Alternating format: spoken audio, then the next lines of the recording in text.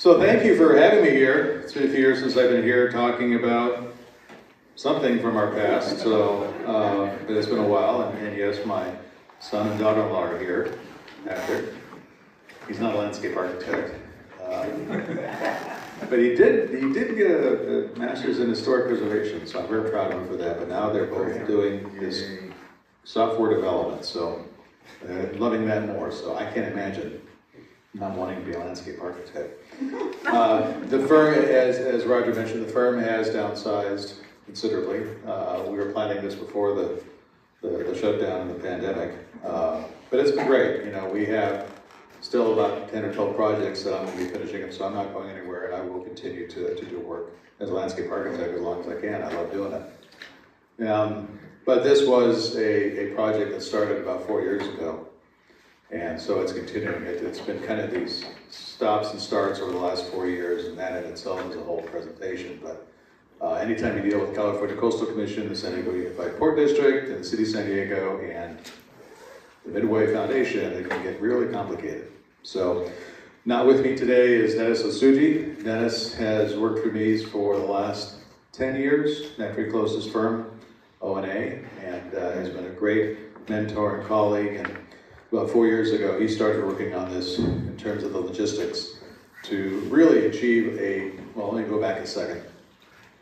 The Midway, when it was birthed in 2004, the promise by the Midway to the Coastal Commission was that they would convert the Navy Pier into a park.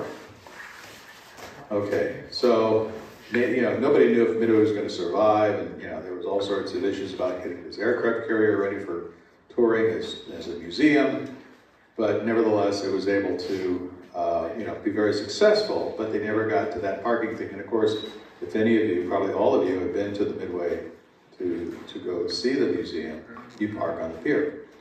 And today it has about 500 plus or minus stalls, and they're used pretty much full time. So the agreement was that there'd be zero parking under the Coastal Commission agreement and the Midway was using the pier for parking. And at the time, there wasn't much parking elsewhere. Well, that's fast forward, it's changed, and then the coastal said, well, you still got to get rid of the parking. So we really started, and this is where Dennis came in. He really worked with all of the individuals and the staff and agencies to, well, let's negotiate from 500 stalls down to, you know, not getting to zero, because they still needed to have some parking. So just last summer, after three and a half years, we finally got the Coastal Commission to agree on reducing the parking down to 100 stalls. Not just for the need for parking, but there is a whole logistical and staging requirement. If you can imagine, when you see the Midway, you see all these beautiful aircraft up on the, on the decks, like how do you get them up there? Well, the area that you're going to see in the park that we designated, that's also a staging area where the big cranes come in and they lift the planes and the helicopters off the deck. So that was crazy in itself to realize that happened. And this is not just a pier park, and there's pier parks all over the world. They're, they're very popular right now. Start, probably started in New York and in Seattle. But this one has an aircraft carrier berthed at it. A little different. Plus, the Navy Pier is still not owned by the Navy, but the Navy has 24-7 uh, access rights to that pier for emergency situations. So imagine where the Hornblower cruise ships are on the north side, they can be kicked out and you can see naval destroyers in there. So don't know when that would need to happen, but nevertheless, that was a requirement. So there's a lot of restrictions. So as I mentioned, we finally got down to 100 stalls for parking and began to kind of in earnest to look at the design because up to that point we were just kind of doing green park and gray for asphalt. So um, so anyway, today, uh, the other collaborator on this project was a group out of New York, Gallagher and Associates. They're museum exhibit designers. I think they've been doing the, uh, Comic Con Museum. So they were brought in to begin looking at ways to put up a series of outdoor museum exhibits. So we actually worked with them. And this just started back in probably September so they developed their ideas and we developed ours and we're trying to collaborate. And I think what you're gonna see today is a combination of both their ideas and our ability to take those ideas and turn it into a park. Because obviously, at the end of the day, the Coastal Commission said it's going to be a one hundred percent public park on the pier with very limited parking. So anyway, uh, so here, Turn itself. Did you turn it off? did I turn it off? Maybe the battery. Maybe the battery. No, it's the audio. Maybe we get something else. Let's try this one. Let's try this one. Okay. Turn it up. Warm up. He's gonna turn up. Try it. Okay, continue. So, one of the ideas that Dennis had when he started working with Mac, and and let me go back another ten years. I actually started working with Midway in developing the, uh, the park for the unconditional surrender, otherwise known as the KISS. And so that was our first collaboration with Mac and his crew, and that was in itself, you know, quite an achievement to get that out there. And I know a lot of people lose love and hate relationships, but, you know, it's been very popular. So Mac kind of knew how to get things done when he had a mindset to do it. And being a retired naval admiral, he knew very well how to get things done. So we began to think about what this would be named. The reason I'm talking about the, the KISS is I'll show you at the last one, last images. The idea is that Mac's vision was not just having a pier as a park, it was really taking everything from where the fish market is, all the way down and around the stern of the ship, and um, into the, the, the park itself, the pier park. And Dennis, being a Vietnam veteran, said, you know, we need to do something to really contribute to the, the veterans of San Diego. So it really became, the first name was Veterans Park. And the idea was that the park would be centered around celebrating and, you know, talking about the, the San Diego presence of the military and all of the different services here in this region and what it's done for San Diego. Fast forward, it's now called Freedom Park at Navy Pier. So it's still based on that premise of, of recognizing how we have freedom, why we have freedom, and how much San Diego's played as part of that. So anyway, this is, uh, um, what you see here is a sign in, in the front saying Freedom Park. The element to the left, I just want to talk about now because it's hard to see later in the presentation. If you've been down there today, there's a giant warehouse building. It's actually like one half of what it used to be. It used to go all the way down to the pier. And this pier has an amazing amount of history. It has history going back to the 30s and 40s and 50s, and you know, it didn't start out as the big pier. It was added onto, taken apart. The center portion of the pier is actually over dirt. It sits on a mole, just like what we call the G Street mole, same thing. It's basically sitting on a mole, and it's surrounded by retaining walls. And then the area outside edge, which is all concrete, that's actually over the piers. So it's kind of an unusual, it's not a freestanding pier. But anyway, this warehouse that was on there also has its own history. It was, I've been told that Rosie the Riveter did work there and they stored tanks up and down the two stories it sits and it's, it's just this giant, heavy, three foot wall building, thick wall building. So I said, well, there's history there too. So working with some of the Midway staff, I was able to get all these historical pictures and we kept seeing how this pier was used for the last 70 years, 60 years. So we wanted to recognize that as part of the story. So one of the suggestions that I had was, okay, we got to take down this building, and it's a lot of money to take down this building. Let's leave part of it. Let's leave this little piece here, it's not quite as refined as this. It's going to have, think of an old wall we're saving. It's not going to look that nice, but it's it's kind of a remnant wall of the building, and hopefully we'll have uh, interpretive signs on it talking about what happened in this building and you know, there, there is a lot of history down there. We can't just make it public. This is not a public park in the sense that it's a passive or active park. This is a park that's really has a whole different meaning to it. And things like this are what we're trying to use to, to focus on that. So let's see if this works. Okay, here we go. So anyway, looking back, freedom will come into this image imagery quite a bit. So for instance, here I said, you know, well, we're going to have Freedom Park. We have to have a freedom tree. So, oh, by the way, the, the Coastal Commission also said the entire landscape on this park had to be native. Now, just having completed another project in South Bay, an RV park down in South Bay where the Gaylord is being built, that was the first project we were told that had to be native. And I thought, gosh, an RV park, campers, kids, dogs, nothing's gonna survive.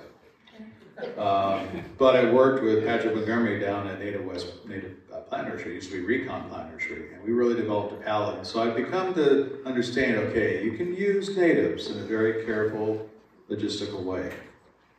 So in this case, everything you see is going to be, in, I wouldn't say native to San Diego, it's gonna be indigenous California. So for instance, here's a Monterey cypress.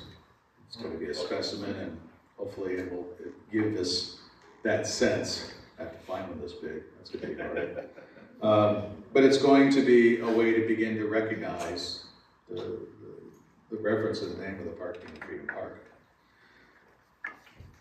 Okay, so it's a Joni Mitchell song, tear up a park and put in a parking lot.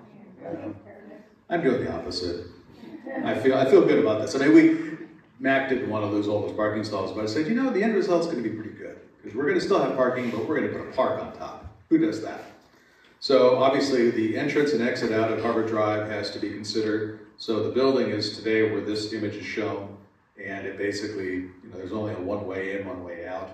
So this will allow a, a uh, this will also line up with, I think it's East Street. So it'll go right into downtown. So these two roads coming in will orient you into the project, and there'll be parking in the center of the, of the park. Uh, again, there's lots of opportunities here for problems with pedestrians and vehic- vehicular traffic, but that's today too. So hopefully, in this case, the, the, the walkway going back and forth actually is the promenade that's there today. So we're actually adding park to the west of the promenade, and then of course, the park to the back. The area, now again, the other point out here is what you see at the very end of this pier is a very large American flag. That was Dennis's idea. Originally, we were gonna have the American flag and all six service flags. But we thought, well, let's at least get the American flag, and Max said it's gonna be the biggest blank flag in- you've ever seen, you know, so that's, that's why it's at the end of this road, and you see it from downtown, you'll see it from the bay, it's gonna be a big flag, so. um,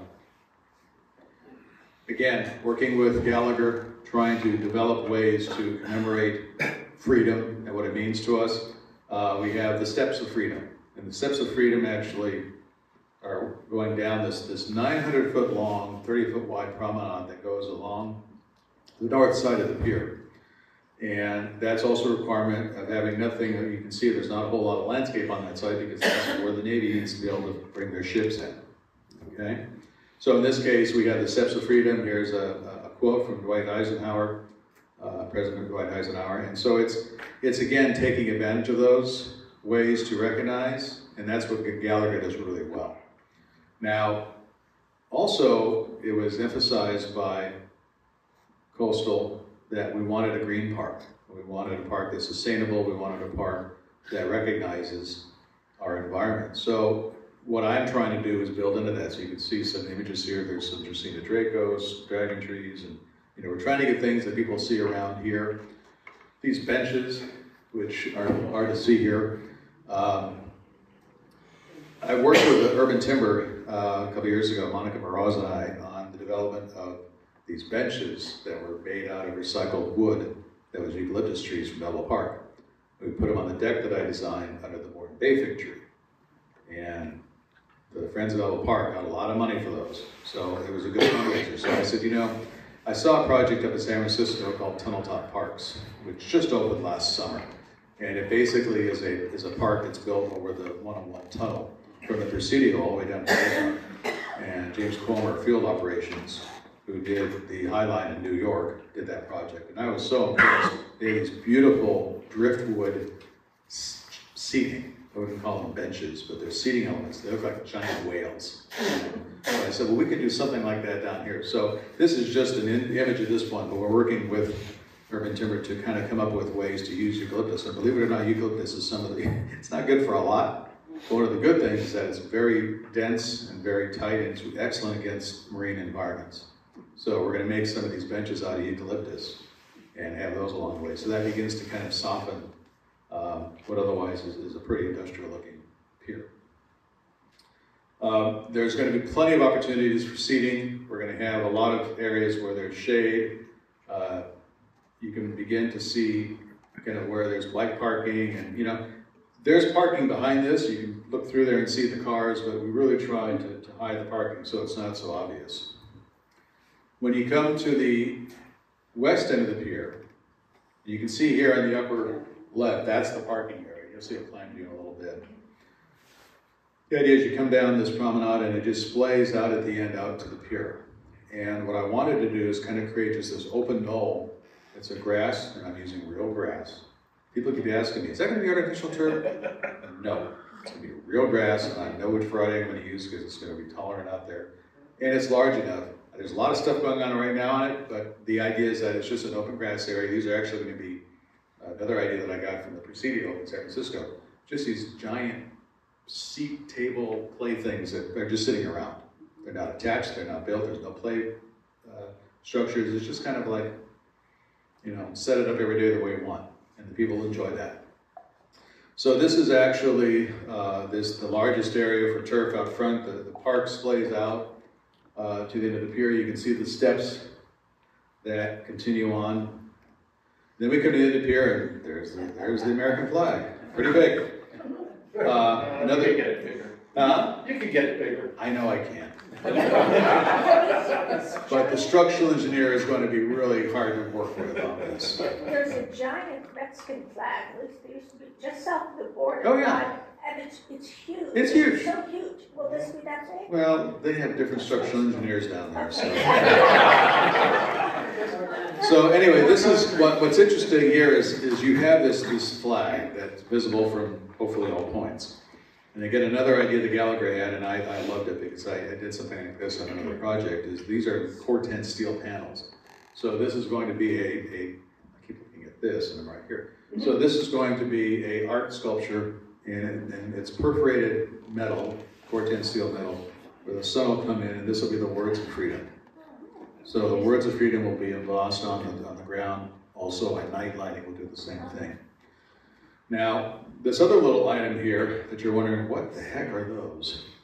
Those are our, uh, I, I, I was calling them couple swings or, or something, but someone came up and said, no, the naval term is, those should be porthole swings. I thought, okay. But they're just something, the, the, port, the coastal was really pushing us to have some sort of structured play elements. I said, well, this is not for that, but I could see this. People can sit out there. My concern is making sure these are back far enough so people don't try to do the swing into the bay. So, don't, don't give them ideas, right? So, yeah, we- that's a detail. We'll have to work that out. Behind that grass knoll is I, this is where I, I really appeased the, the folks at the coastal is I created a native garden. And this is called the Garden of Memories. So here, you're going to have much more passive, it's decomposed granite. We're gonna do some recycled wood seating, all native plant palette, uh, lots of seating. I got more seating in this park than you can imagine because that's, that's a big part of making it a really good passive park. This is an element at the end of the pier, just behind the, the Garden of Memories. Again, the pier with its history, it often was used for births of ships coming in and going out, and families, friends were saying either hello or goodbye to the sailors going off to off to war or out to sea. So we wanted to do something, and this kind of came in my mind from when we did. Now we didn't do it, but the Bob Hope sculpture, which is much more. You know, it's kind of the same thing, and Bob's there speaking, and you get that sense. And so think of that and scale that, and that'll be something that we're going to do here. Again, we'll probably, on, these art elements like this, Gallagher will be developing some of the actual technical exhibits, but we're going to be working with local artists and trying to get, you know, these built. So again, as I mentioned, you're coming into the parking area here, you can begin to see the parking. What we've tried to do is to shade the parking all the way around as best we can. Um, There's looking over the top of this, this end piece. Uh, someone referred to it as a football. I guess it does have that shape. Uh, again, lots of seating, lots of seat walls. Again, remember, the, the pier is flat, and what we're going to do is actually build everything up from the pier deck. And Oh yeah, by the way, not one single drop of water can fall into the bay. So that's another detail. But we're basically going to try to help save as much of the water. We're gonna use pervious paving and, and landscape areas to collect the water. Hopefully store some of the water for the irrigation use, but basically clean it before it goes off to the storm sewer. But it all has to be taken off the deck back to the, to the mainland. Here's one of the, the only intersection that I was worried about, but we had to try to connect these park elements, is this one goes right across the middle of the park. So we'll have to figure out how we're gonna be able to keep the people and the cars separate. But it's a pretty wide promenade, again, it's about thirty-five feet, so it should be able to be controlled, and hopefully cars aren't going much past five or ten miles an hour. This is the front of the park, and this is the parade ground. We call it the parade ground because it's reminiscent of what is at Liberty Station. And Dennis actually was the landscape architect of Liberty Station, so he did a lot of that work in the restoration of the NTC, working with the McMillin companies years ago. So the idea here is that this would be an area that is used for ceremonies, more formal events. You know, they have like four or five hundred events every year already on the Midway, but in this case, they need more room. So this would become kind of an overflow for that. So this area will, it's pretty much flat. You can kind of see in the background there, the building wall, ribbon wall piece. This is um, the gentleman, his name is John Finn, enlisted officer with the Navy. And he actually uh, was from San Diego, Chula Vista, just passed away a couple of years ago. Mac and I have been trying to get a place for a statue of John Finn for the last three or four, five years now. Got shot down a few times by the Port Art Committee and others, but anyway. Remember, behind the, the the museum, from the fish market around, there's already a number of existing memorials. And that's kind of why the whole thing is tied together. So, but John Finn is unique, is that he was the only enlisted, enlisted, uh, am I saying it right? When you're not an officer, you're enlisted, right? Non-commissioned. Uh, in Pearl Harbor. And he's the only San Diegan that ever won the, the Medal of Honor. So Mac has been tried, and I said, Mac, I found a place for Mr. Finn. So we put him right smack in the middle um, of this parade ground. So there you can see it from above. So he's in the center, and we basically have uh, the parade ground area. There's um, you know, opportunity for all sorts, and, and there are lots of seating around here. Some of the seating doesn't show here, but again, we see this as a very active place.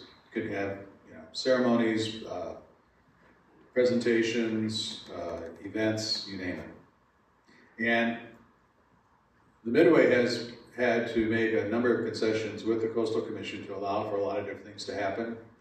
Basically, you know, they could use the different places for private events up to ten or fifteen percent of the time, but for the most part, it's all public, so. We have to have a food concession somewhere, that was a Coastal Commission requirement. So I, I put a place for one, we joke about this, because Mac used to complain about not having a good taco shop nearby, and he always says, let's just put a Mac's taco stand out the end of the pier. Well, it says Bon Appetit, but it's Mac's Taco Shop. Uh, so we don't know sure what it'll look like. This is a little industrial looking thing, but, uh, you know, we'll have that opportunity. And then here's the, uh, kind of overview of the top. And I wanted, this is kind of where I want to go back to that idea that the, the park really starts, everyone knows what the kissing statue is by the, by the uh, fish market. So just follow that all the way around along the promenade of the back out here. So it really is a much larger part of the vision, but right now this design is just going to focus on converting it here. It doesn't seem like Oops. just the one, um, taco stand is gonna be enough for that whole place. It's- Probably not. So, yeah, there's gonna be lots of people there. Well, we hope, right? But, and so I'm sure there'll be other things, pop-ups and other things that'll happen, but Okay, we needed to get at least one okay. and into the design. And, you know, when you get a design done with the coastal commission, it's gotta be like, okay, everything is spelled out. But we figured there'll be other opportunities. I mean, it's obviously something the coastal commission wants to see is activity. Right, everywhere we can. So I'm sure a lot of things, and, and I've tried to allow for, there's plenty of space to do pop-ups and other things that might be able to go out there, but, you know, kiosks. Um, but Yeah, it was, in San Francisco, some of their parks have days when food trucks come in. exactly. So Thank you. I can park about twenty food trucks on that promenade. And still have parking, still have walkability, so yes, that's how we, we, we plan food trucks, buses, shuttles, everything that would fit in here. And then again, remember, as I said earlier, the reason the parking's in the middle is where all the cranes go. Yep. Okay, it had to go here. So You can go here, you can go here, so this kind of drove the whole park. So you got, you got, you know, different needs than you would on a typical park, right? So we had to work with that.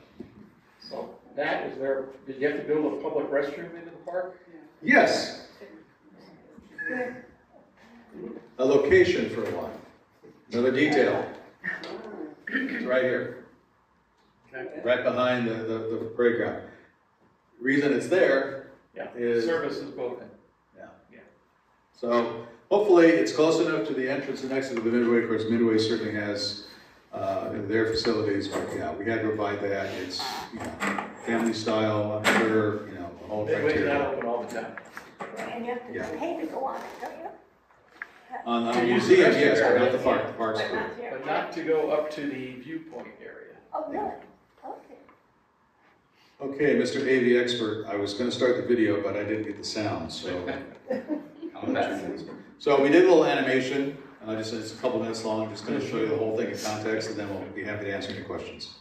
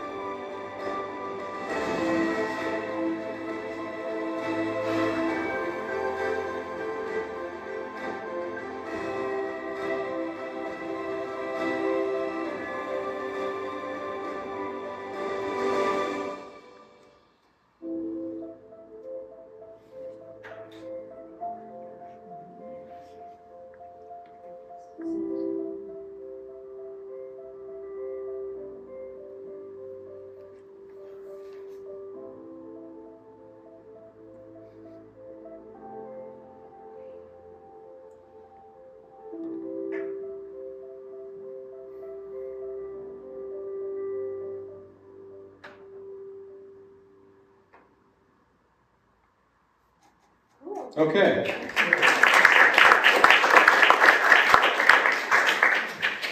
Whenever I show this, I have to hold back, because I want to tell you what everything is, and I'm supposed to. It took us like a week to find that soundtrack, so it's.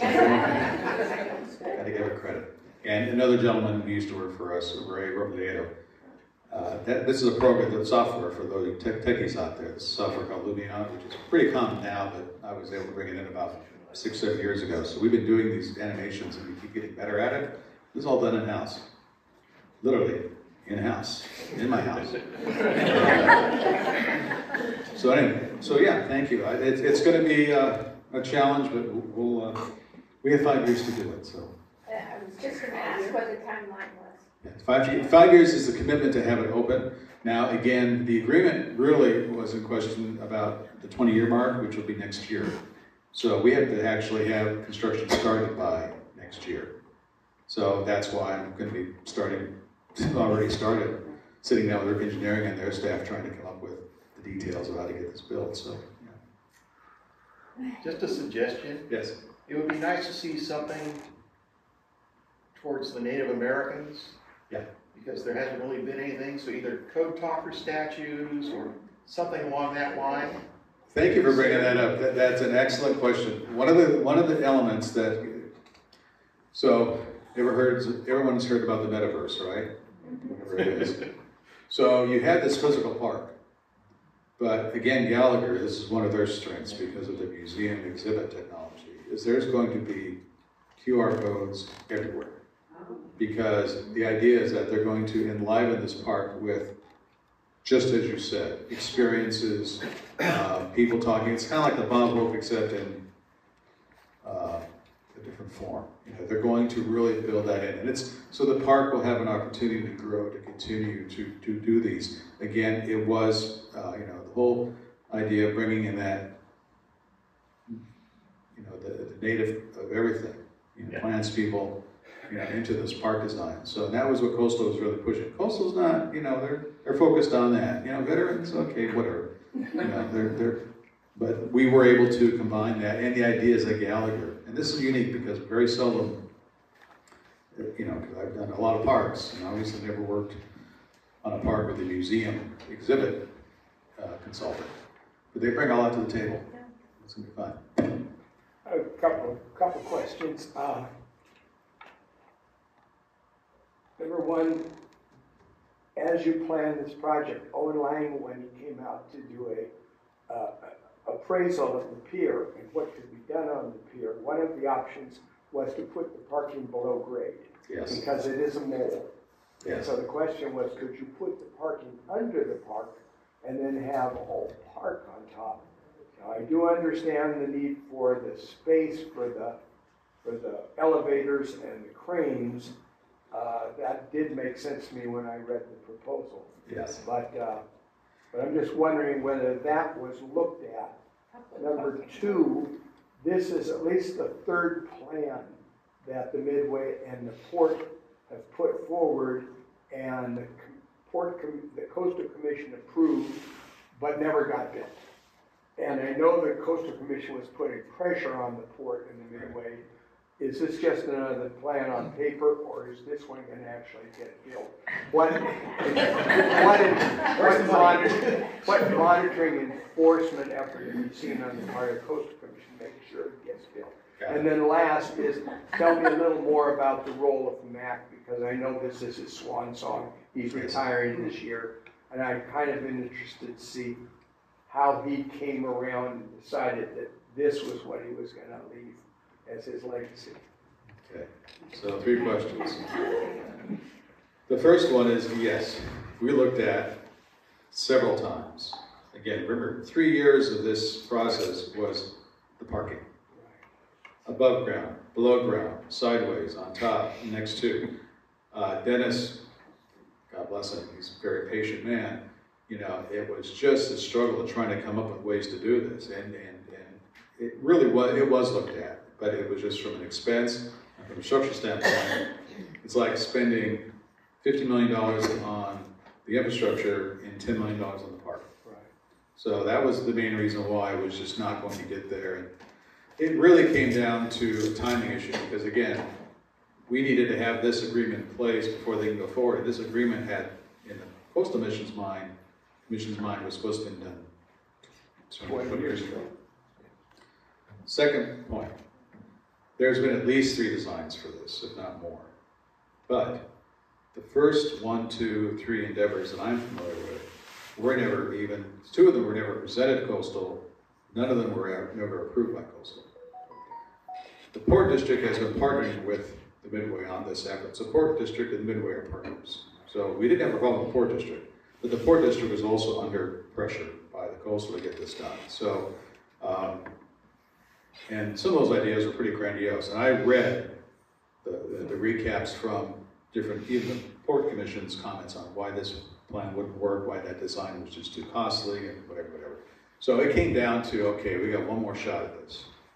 And remember, in mentioning Mac, we have one more shot where Mac's in charge. And Mac has been, you know, when they interviewed for this position twenty years ago, there were five applicants. Mac said, I'm the, I'm the one that was dumb enough to take it. Because no one thought it would, it would work. Fast forward, when Mac announced his retirement last fall, there were five hundred applicants. So it, suddenly everyone realizes this is a place to be. So there was a, there was a race that we had to get to here because we we're gonna lose Mac in his capacity. We are also going to lose uh, a few other staff. Uh, Some at the port was retiring some at coastal was retiring. And so we said, you know, if we don't get this thing done now, it's like when Mac gave orders to get this done, know, that's why the last six months were pretty crazy. So yes, but Mac is, this is really what I consider to be the tenacity of Mac McLaughlin having a ability to, using his experience in, in the Navy and elsewhere, to really, okay, I know how to negotiate. I mean, he, I saw this in a much smaller scale when we did the KISS statute. Because you remember how controversial that was. Mm-hmm. But not only was it controversial, it was like, how do you get money for this? Mac was amazing at what he did to get that thing done and go through. And I sat with him at these art committees and other groups and trying to sell, even with the John Finn statue. So if anything, I just said, Mac, bite your lip and don't say anything more, because he can, you know, he can get into the salty sailor talk really quick. And he did behind the scenes on this. And again, a lot of this was done on Zoom. Zoom itself is just allowing that, you better mute the button, you know, uh, turn off your screen. But uh, Mac lasted through it, and yeah, he was, uh, he's actually, his, his uh, last day was February, March 3rd, I think. So he's actually already uh, out of retirement home, and yeah, so he's, he'll be back. He'll be down working on a plane. Yeah, he will be. Yeah, you, yeah, yeah. Mac is just, I just love working, not only Mac, but some of the staff he has uh, out on, on Midway. But again, back to your question, the, the, the, strength of the Midway today, it's a great museum, it's one of a kind, but the docents are what really make the Midway successful. Now, understanding most of the docents are in their senior years. So that idea to take some of those stories and maybe someday, I saw this in 60 Minutes once, a hologram of somebody that you know, you're asking questions to. So that's where the park has that next level that hasn't even been designed yet, but it doesn't have to be physically built. It can be built into the technology of the park. So did I get all three questions? Yeah. Okay. There's some, Speaking of technology, is there adaptions made now that e-bikes are so popular? I'm sorry. That electric bikes are so popular? And how does your traffic? Yeah, we, we have a, we, we have some details to work out with the pedicabs, the electric bikes, the, the scooters, uh, you, you name it. So, yeah, I mean, I think the overall premise on this park is that the Midway is going to commit per- perpetuity to help maintain the park and manage the park. Even though it's a public park, it's a city, it's a port park, the Midway is committing to this. And there's been a lot of questions about how you're gonna control traffic, how you're gonna keep you know, homeless from encampments out there. I mean, all these different questions come up. You know, how the restroom's gonna be locked or open. You know, there's a lot there to deal with, but at the end of the day, I think there's basically, in my experience, the more activity you can create around something, the less problems you have, and you also have to have the enforcement factor in there too. So I expect, and believe me, I, you know, there was a lot of discussions about, you know, how we're gonna have to not only, uh, take care of the park, but also maintain the park. So actually, the Midway is also committing a, a, a, uh, annual budget just to help do the landscape maintenance. Because again, we're talking about a park on a pier, not gonna be the easiest thing to maintain. So, okay. How tall is the statue for, of Miss, of uh, Finn? Uh, about seven feet Uh-huh. on top of a pedestal. Not a tall guy. It's actually, there's actually a sculpture, sculptor that's already, that was a 3D sculptor image that I used. And it was actually designed by a local sculptor about, he's not local, he's back east, back south, southeast. About five years ago, four years ago. So it's, it's bronze, it's, you know, the whole. There was one where the guy was, he was on one of the ships shooting the guns at the, at the aircraft. So one of the first images was him holding. Yeah, that wasn't gonna work, uh, especially with the art commission. So, but, you know, so that's where, it's at. and I'm going to make the assumption that's still the case, but again, I'm not sure how Matt handed that off, but yeah. Yes, Um, you know, the whole area seems to be becoming sort of a graveyard of statues all over the place. Statue- Everything, it's sort of a mishmash of commemorations and memorials. Um, so I was thinking that there's, there's an awful lot of, um, realistic but not much in the way of really artistic creation. So, um, that's one question about how to promote that. But the other thing is looking forward as new people need to be memorialized or wars or something, how have you built into the long-term, uh, expansion or, or replacement of new things in the, over the years in the future? Well, it's definitely gonna be a challenge because you have so much that's existing today. I mean, you compare to some of those, uh, monuments, and of course, we all know what happens when you have especially war memorials and individual recognitions, it's like once they're in place, they're kinda hard to move. But one of the ideas that Dennis had, and it shows here in terms of the, uh, you know, a lot of those, there's uh, two or three that exist along the harbor side, and there's three or four out here at the entrance into the G Street Mole. They're going to be, Dennis had the idea of re-landscaping. This, act- the promenade landscape that you see there is not what's there today. So kind of meandering that, softening it, making it a little more respectful to those elements that are already in place. Um, Still making sure the promenade works, because that's a major circulation flow. Someone mentioned Owen Lang, and I worked, I worked with Owen on, we did the headquarters together. Uh, When he did master plan and I came in and did that, we were always talking about this whole, and I've worked with Owen, uh, at ASLA, I gave him his honors there, a fellow's medal. So uh, Owen and I go, I have much respect for Owen, he knows what he was doing. and So, yeah, so, uh, but the point about the, Gallagher has all sorts of ideas how to continue to commemorate people that want to be recognized. I think, and this is something Max said, which is very important, and I agree hundred percent, having grown in San Diego, is that it's not just about the people that served, it's about the families and the community. And he wanted to make sure that we were not, you know, for instance, going to fundraising mode. He didn't want to go to, uh, you know, all the typical DOD contractors and say, we want money for this. He really wanted this to become a community-based effort and to recognize not just what our service people have provided in the history in San Diego, but also about how the community is supported. So I think what you're gonna find is, yes, we have to kind of work with what we have, but going forward, I think it's going to be a lot more focus on how this park, why, why are we free? Freedom is not free. You've heard all the, the, you know, references, and the idea here is that this is going to be uh, a, a recognition of not just the military in San Diego, uh, and the safety that the military brings us as a country, but the fact that, you know, this is our, you know, this is our little contribution, our big contribution to what we have done.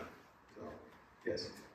The sculptures at the end of the pier, the individuals that you're doing, are those in bronze and also do they depict certain periods of history?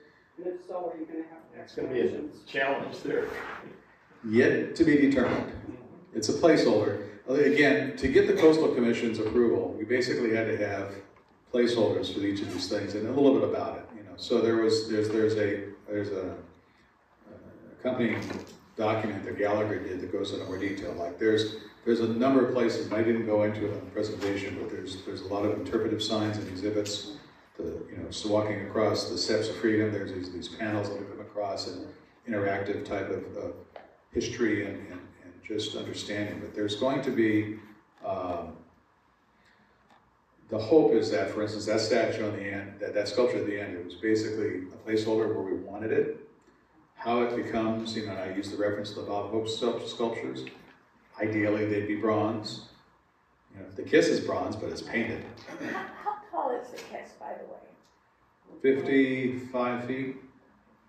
Yeah, I think from, yeah, depending where you stand. You know, in the, the Bob Hope Yeah. area, That's fantastic, and when they first put it in, and the daughter came out and all this kind of stuff, they had a book that told all the history of every single statue and all represent something.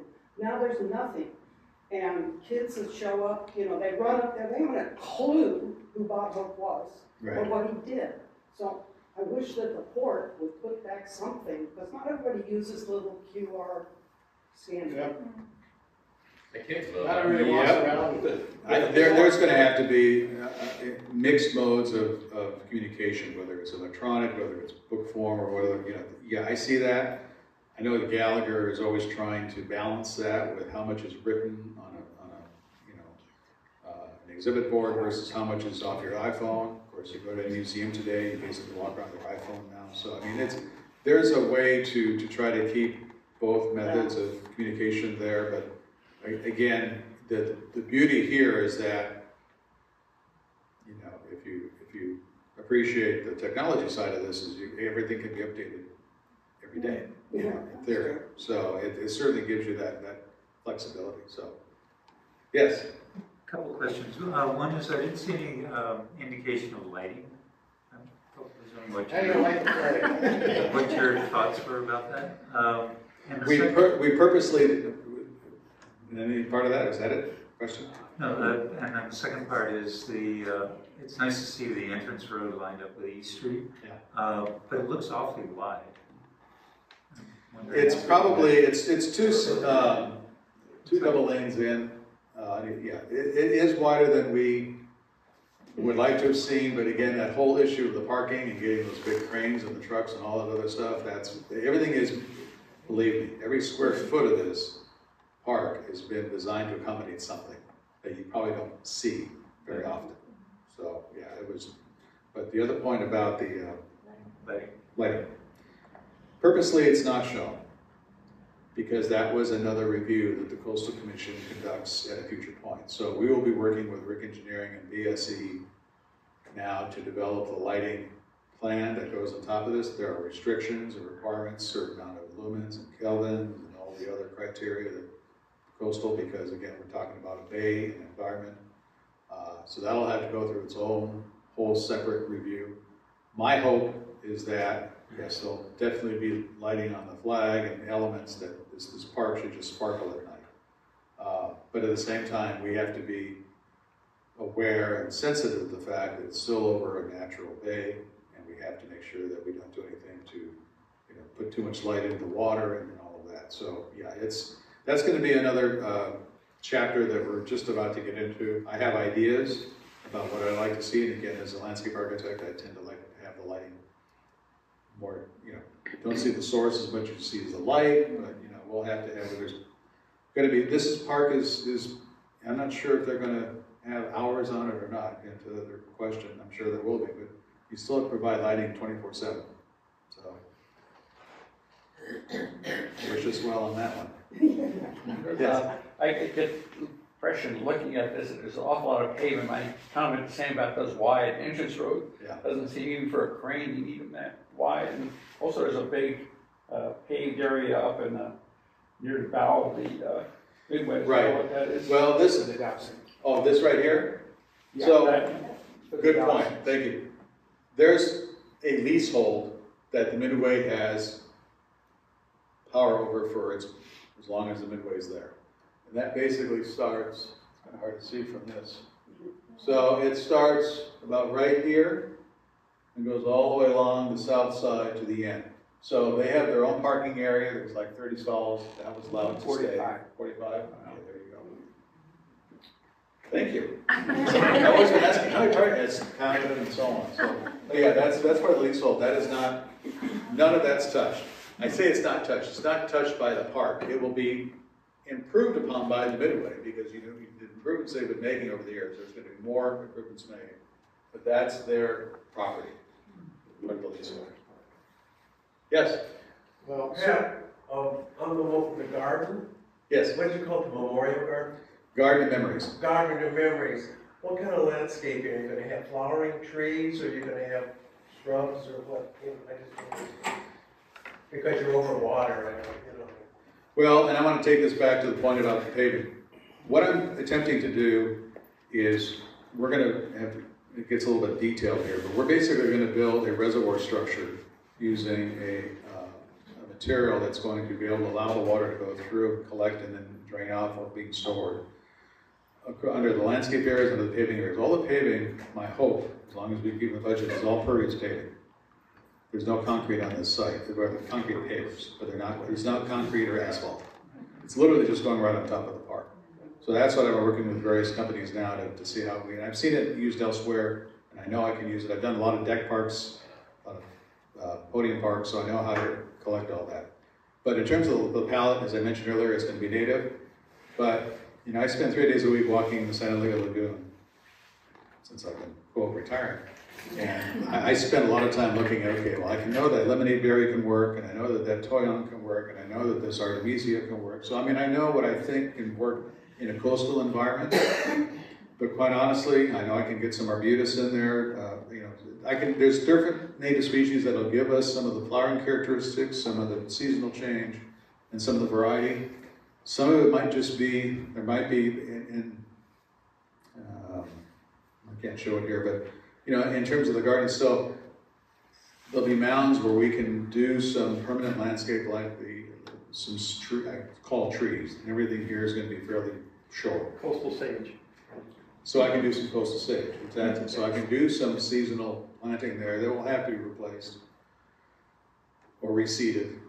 But that's, my goal is to, you know, it's not an ornamental landscape, it's supposed to look somewhat natural but not ratty. But again, you know, right now, weeds look great, right? You mm-hmm. go outside, everything is green as can be. So right now, everything looks really nice, and the more native it is, the better it looks. You know what's gonna happen in August. Right. So, but that's why I mentioned earlier Patrick Montgomery, who is a landscape architect by training, by the way. Can't get him to make that jump, but he's working in the nursery. He has become an expert on, on, on native plants. And working with him on the RV park project, I really learned, okay, we can try these different things. And it's, it's gonna be an experiment in a way, and I've already communicated that to the Midway because, you know, it's, it's easy to make a policy that you're going to use native plants. Now it's, believe it or not, the Gaylord Resort that everyone's waiting to get built, that's supposed to be all native. I can't wait to see that. Well, at least the RV park is a good study. It's a good, it was, it's been a great study. Right. And I had a client on that, Sun Communities, that's got RV parks all over the country. They're, they allowed us to, s- to do it. And we've already gone through three or four different plant types saying, well, don't use this again, and this works well. And so, you know, I, I started the nursery business back in the seventies, so I always knew, well, we can, we can always learn from what's coming out. And up to, up to about twenty years ago, native plant nurseries were pretty much uh, one or two in the country, so these couple of regions. So now we've got a lot more experience. And again, just observation okay, I can see this, I've seen it under five or six different conditions, I've seen it under four seasons. You know, it could work. So that's why I'm gonna spend a lot of time on this, because that's, that's kind of my, I wanna make sure it does work.